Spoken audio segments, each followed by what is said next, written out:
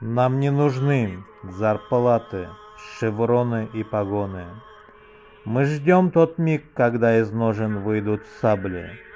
Сердца наши горят в огне и плачут кровью, о Палестина. Дети, отцы и матеря, убитые жидами сионизма. Мы не простим и отомстим нашим врагам, и не будет им пощады.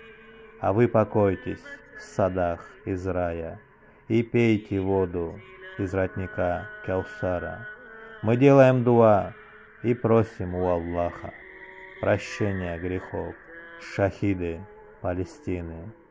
И знаете, есть еще мужчины, потомки Кутуза, Бейбарса, Абдулхамида и имама Шамиля, Коддиси Сируху, которым смерть и не страшна. Нам нужен мир во всем мире и довольство единственного Творца.